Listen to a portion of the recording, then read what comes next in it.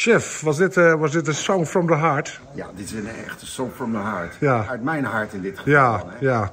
Ja, want chef, we zitten heel even in de spot. eh, en nu nog lege spot. Dat is ook wel eens eh, leuk. On, on stage ook nog. Onstage, zeker. Maar eh, we zijn even samen omdat jullie aanstaande zaterdag... tien jaar Songs from the Heart in de spot gaan veren. En, Zeker weten. een mooi gratis fenomeen. Al jaren, al tien jaar dus. Eigenlijk twaalf. Eigenlijk twaalf, ja. Maar vertel jij het maar even, want jij weet er veel meer van. Nou, twaalf jaar geleden ben ik met het idee hier gekomen in de spot. In de tijd was Tony Dieleman nog eh, de man waar ik mee moest praten. Eh, het idee van, kunnen we niet iets beginnen waarbij mensen belangeloos muziek maken voor mensen die daar ook geen geld voor hoeven te betalen. Maar dat we een soort eh, ja, podium krijgen voor mensen om met elkaar ontmoeting te hebben. Muzikale ontmoeting, backstage, op het podium en in de zaal. We zijn toen gestart. Eh, Tony was daar eh, enthousiast over. En dat was dus twaalf jaar geleden. En de eerste keren was dat, eh, nou, begon redelijk druk te worden. Mensen vonden het heel erg leuk. Het waren akoestische, thematische avonden. En ik legde de lat best wel hoog, want ik wilde dus niet van, je komt met je bandje spelen. Nee, ik wilde dat mensen zich gingen verdiepen in een bepaalde artiest of in een bepaald thema. Net zoals jij een tijdje geleden Moby eh, postte. Ja. Waarvan ik wist, hé, hey, die heeft heel veel eh, muziek gebruikt van mensen die dat vroeger hebben opgenomen. We hebben dus allerlei thema's gehad. Van, eh, nou ja, het kon Bob Dylan zijn, maar het kon ook zijn crime songs en murder ballads. Het konden train songs zijn. De stad New Orleans heeft bijvoorbeeld een keer centraal gestaan.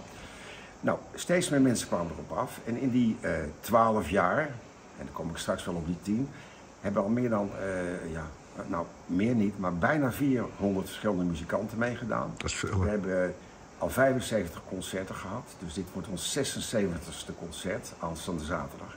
En dan gaan we groots vieren. En het leuke is dat eh, we hebben inmiddels zo'n breed publiek aan- aangesproken, wat echt komt luisteren naar de muziek, want dat is ook al heel bijzonder. Tegenwoordig is het een bijzonderheid als pu- publiek ook luistert naar de muzikanten in plaats van te gaan vergaderen met een heel club. eh, Ja, Nederland, ik las laatst dat Nederland daar bekend om staat bij heel veel eh, buitenlandse bands. de Dutch Disease. Ja, ja. Maar goed, hier wordt er wel geluisterd en als er niet geluisterd wordt, wordt er iets van gezegd. Ehm, eh, om even terug te komen dan bij het verhaal van de thema's. Op een bepaald ogenblik hadden we al heel veel concerten gehad. En toen brak corona uit. En ik was er eigenlijk niet zo heel rouwig om, want we hadden toen al eh, een jaar of acht gedraaid. En het werd steeds drukker. Er kwamen steeds meer muzikanten. Soms had ik hier wel 50 mensen backstage zitten. Het podium was vol, de zaal was vol. En eh, op den duur begon het een beetje boven mijn hoofd te groeien eigenlijk, moet ik zeggen. Toen kwam corona, ik ben gestopt. En eigenlijk elke dag als ik iemand tegenkwam, zei die wel van... Goh, wanneer ga je weer beginnen met Songs from the Heart? Nou, dat heb ik twee jaar uitgesteld en ik ben dan eh, eh, anderhalf jaar geleden weer begonnen. En nu zitten we dus aan tien jaar.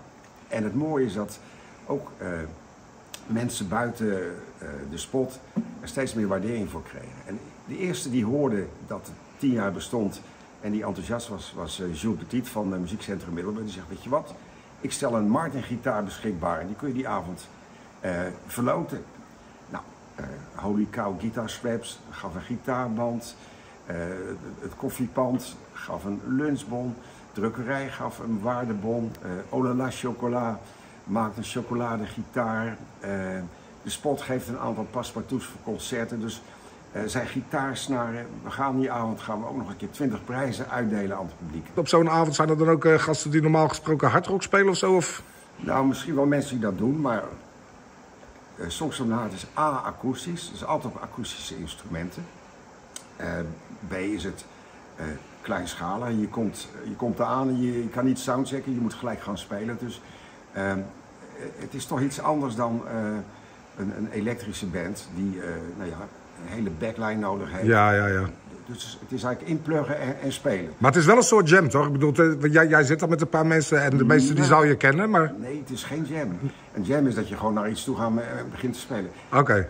Het was echt, vanaf het begin was het, iedereen mocht drie nummers spelen. Die moesten dan bij het thema passen. En dan mocht je alleen, of met z'n twee of met z'n drie. Oh zo, ja, ja. ja. En hier eh, backstage zijn er dus allerlei nieuwe bandjes ontstaan. Mensen die met elkaar eh, in contact kwamen. Zeggen, oh we gaan ook eens wat samen doen. Eh, er zijn heel veel muzikanten ook in hele bijzondere samenwerkingsverbanden gaan optreden. Eh, die hebben er weer andere bij gehad. Ruud Hermans, die ooit de senior voice heeft gewonnen. Die heeft hier een aantal keer mee. Die vond het geweldig. Om hier... Maar de, komen die dan zaterdag, want het, het, is echt wat je zegt, 400 muzikanten. komen de aanstaande zaterdag komt dan een soort greep uit die grote grabbelton? Ja, er komen wel een aantal mensen die, die toch al heel lang al meedoen. Jepe de Klerk bijvoorbeeld, die is ook al van begin erbij. Uh, oud-leden van Champion Charlie, die er vanaf het begin af... En jij zelf natuurlijk. Heb jij er wel eens eentje gemist eigenlijk? Ja, één keer. Zo, wat, was, ja. wat gebeurde er? Nou, ik moest middags voor een, een, een, een darmonderzoek in het ziekenhuis uh, zijn. En toen hielden ze me daar. Ja. En ik kon dus niet, eh, niemand bereiken, dus ik was er niet. Dus die avond hebben anderen het voor me opgelost. Dat was al nou, uniek. Eigenlijk, ja. kijken of daar beelden van zijn. Een avond zonder chef erbij. En mijn chef, iedereen is dus welkom zaterdag. Uh, vanaf, hoe laat is het? Half acht gaat de deur open, om acht uur gaan we starten. En we eindigen, ja, ik hoop nog op zaterdag, maar het zou wel klein beetje zondag kunnen Ja, op zaterdag mogen ze tot twee uur open hier. Hè? Dus uh, ja, er is, uh, nou, de entree is vrij en uh, het bier is niet gratis, maar... Nee, en ja, neem al, je hoeft hier geen oordopjes mee te nemen. Nee, het is... Want het is een, een luisteravond en ja, ik hoop ook dat de mensen die komen ook komen om te luisteren naar al die muzikanten... die Precies. al jarenlang gratis dit doen. hun beste ja. kunnen laten horen op en ook mooi dat de spot het uh, elke keer toch weer beschikbaar stelt hier. Zonder de spot zouden we dit niet kunnen doen. Want zij verdienen er ook niet zoveel aan, behalve dan de omzet van de dranken. Maar.